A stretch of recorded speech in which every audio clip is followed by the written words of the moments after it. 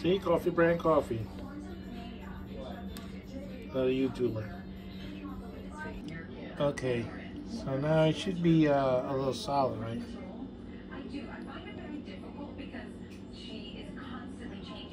With this thing, of course, it would uh, do a little dentation.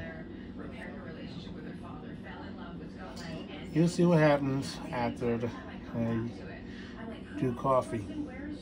It's gonna do exactly like a liquefaction uh, on land that's uh, not solid. That's why a lot of buildings collapse in soft soil and stuff like that.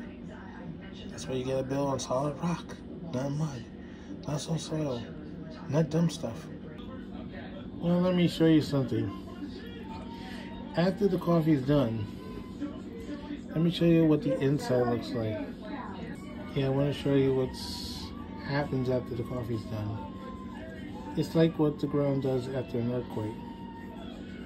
The water messes up the uh, land and it goes from a solid to a liquid. Let's try to open this.